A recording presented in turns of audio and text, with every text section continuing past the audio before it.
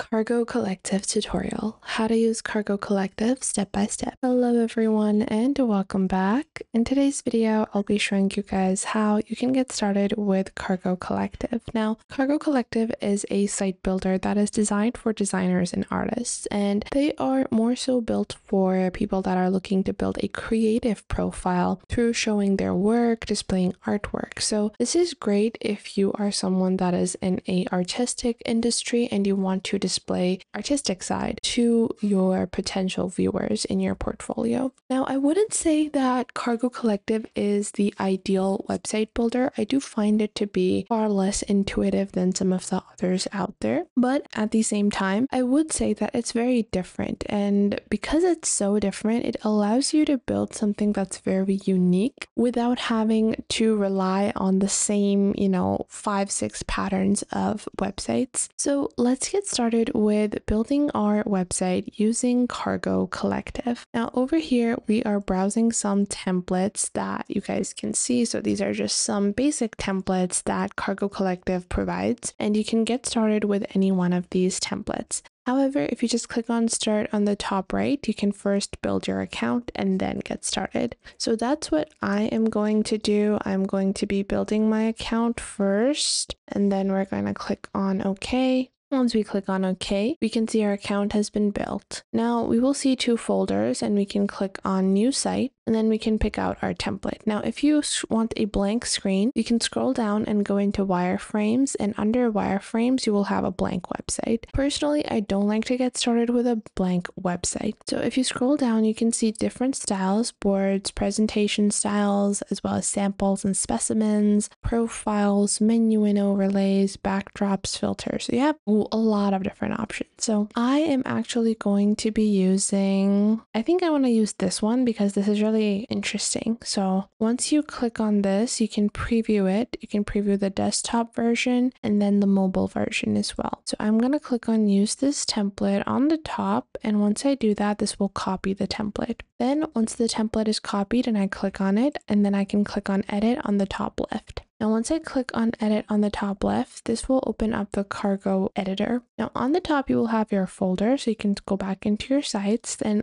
on the top menu bar, you will have all of your editing tools. This includes backdrops, page options, products, icons, your marquee, lists, horizontal, text options, and then you have this option called add. On the right side, you will have your publishing settings, your default page settings, your text styles, as well as site settings, as well as your commerce tools. However, Cargo does offer Cargo Commerce, which enables a site to have shopping functionality. Cargo Commerce is free to try, and if you want to actually enable payments, then you can select an add-on, which is $66 yearly or $9 monthly, and they do not charge per transactional fee. I personally don't think this is the best tool for commerce. However, if you're just selling one or two products, let's say you are a consultancy and you're selling a guidebook on how to build your brand, then you know you can sell those one or two products directly from here. Otherwise, I don't recommend this for people that are actually in e-commerce. So let's get started with editing it. First off, we have our navigation bar. Once you click on this, you can click on the columns and you can alter the column. Now I want to go into the navigation bar and this says project one, project two. Now I am going to click on the top right. Here I can actually remove or add items in the navigation bar. So first off, I am going to alter the project because I want to start building from there. So I'm going to click on my site. It's up for, it is up right now. So it has been published and this is project one. Now this navigates to the home page, project one, link to page. And I am going to actually delete all pages in this set and then I'm going to go into the navigation bar and then remove this like so and then I'm going to add my own name like this Lily Davis. Now from here we can proceed with adding our own elements. So if we want to add columns we can add those. I don't want to add columns here so I'm going to actually scroll down click on this section here and once I click on this section I can add a gallery. Let's say I want to add a freeform gallery Now I have a magnetic snap on this, a pop to hover, fit to width, shift, as well as zoom. I'm going to zoom this out to 70%.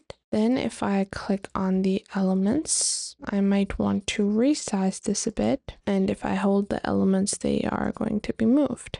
So from here, we have the magnetic snap, pop to hover. I'm going to alter this because I don't like this type of gallery. I think it's better to go with maybe a grid type of gallery.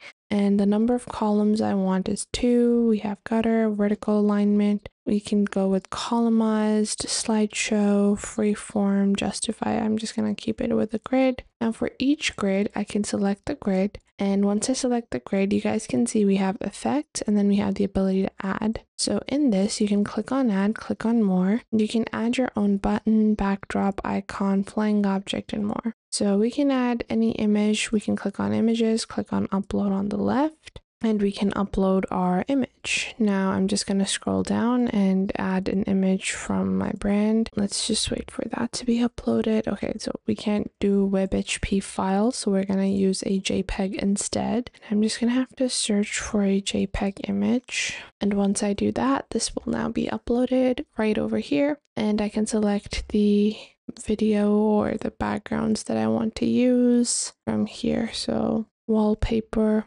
and once I do I think it looks fine right now. Now I'm gonna go back and we're gonna remove the set of elements within our navigation bar like this and I'm gonna go back into this from here we can click on add more lorem ipsum and we're just going to scroll to the bottom mm, we have different text styles and I think I just want to add some basic functions behind our grid. Okay, so these are added behind our grid, which we will have to move like so. So we're just gonna go on ahead, not use the commerce, but instead the site settings, the borders, like this. Now, once your site is ready, you can click on your top right to preview your draft and go to your site. And then on your top right, you have your publishing settings. So you can make your site public, add your own domain, change the site name, and you will have a free domain name that is provided by Cargo. You also have a favicon and a contact form that you can enable to collect leads.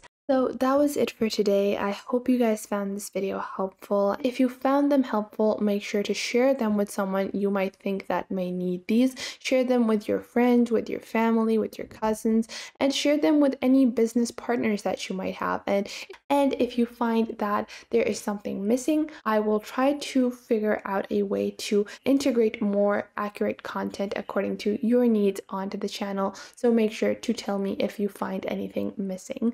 So that was was it for today. Make sure to leave a like and subscribe to the YouTube channel, and I will catch you guys in the next video.